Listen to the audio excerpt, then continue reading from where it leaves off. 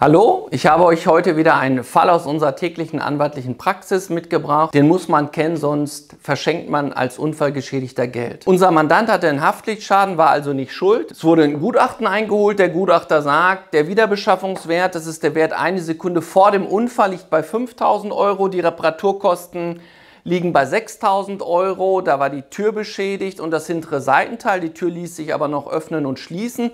Und der Mandant hat gesagt, Mensch, Herr Preuß, eigentlich will ich das Auto weiter nutzen, ich will es auch gar nicht reparieren. Der Gutachter hat in dem Gutachten auch den Restwert ermittelt. Das ist quasi der Wert nach dem Unfall und das richtigerweise auf dem allgemeinen örtlichen Markt, also in der Umgebung. Was bieten da Restwertaufkäufer? Und das Ergebnis waren 1500 Euro. Und in diesem Fall haben wir natürlich für den Mandanten geltend gemacht, die 5000 Euro abzüglich dem Restwert, den muss er sich anrechnen lassen, das waren 3.500 Euro. Passierte? Die Versicherung benannte einen sogenannten Restwertaufkäufer und der hat plötzlich nicht nur 1500 Euro für das Fahrzeug geboten, sondern 3000 Euro und dann hat die Versicherung versucht und gesagt, naja, 5000 Euro minus 3000 Euro sind ja nur 2000 Euro und nur das Geld bekommst du. Diese Abrechnung ist aber falsch.